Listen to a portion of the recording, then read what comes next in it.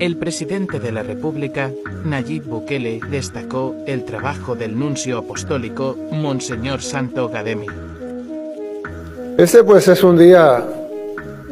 de honrar a Monseñor, pero a la vez es un día triste porque lo honramos por su partida.